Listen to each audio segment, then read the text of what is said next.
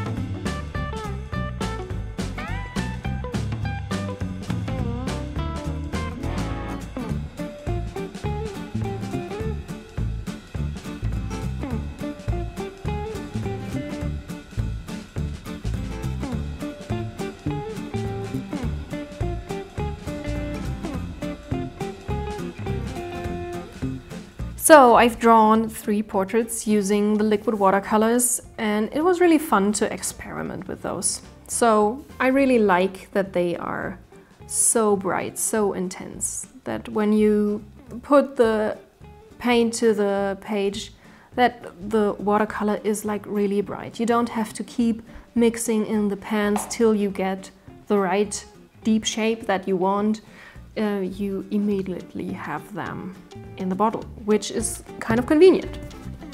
Have fun!